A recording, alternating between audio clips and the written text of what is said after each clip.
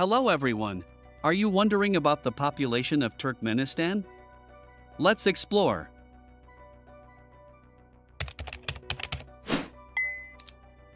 Turkmenistan, a country in Central Asia, has a population of about 6,084,000 people, ranking at 150th in the world. The population has been growing steadily, driven by high birth rates and immigration.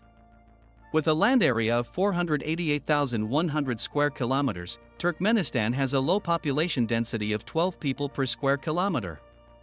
This density is considered low, reflecting the significant rural areas and small size of the country. Most of the population lives in urban areas, with significant urban populations in cities like Ashgabat, the capital.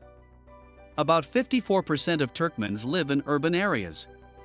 The demographic profile of Turkmenistan shows a relatively young population, with a median age of around 26 years. The gender distribution is nearly equal, with a slight predominance of females. Please like the video and if it was useful consider supporting us on Patreon. Thank you for watching and see you later. Goodbye.